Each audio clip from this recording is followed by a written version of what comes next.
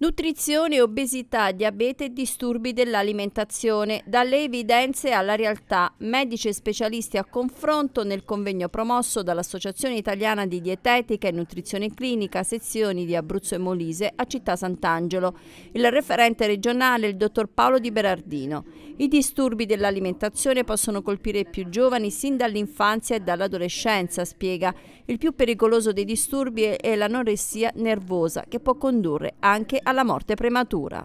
I disturbi principali, quelli che insorgono più frequentemente, sono anoressia nervosa, bulimia nervosa, disturbo da alimentazione incontrollata, cosiddetto BED, che naturalmente è acronimo di Binge Eating Disorder, e naturalmente disturbo non altrimenti specificato. Quello più grave è l'anoressia nervosa in quanto per le complicanze eh, sistemiche che questa malattia, questa patologia purtroppo dà è una causa di morte, tant'è vero che è la causa di morte nell'età eh, giovanile, dopo gli incidenti stradali, la causa più frequente. Ci sono dati che riguardano particolarmente l'Abruzzo su questo tema? Eh, ma i dati dell'Abruzzo riflettono quelli nazionali del 3-5% attualmente, però teniamo conto che negli ultimi anni, infatti in questo senso il Ministero della Salute è intervenuto nell'ambito di un progetto di eh, erogazione che è finalizzato all'erogazione di fondi speci speciali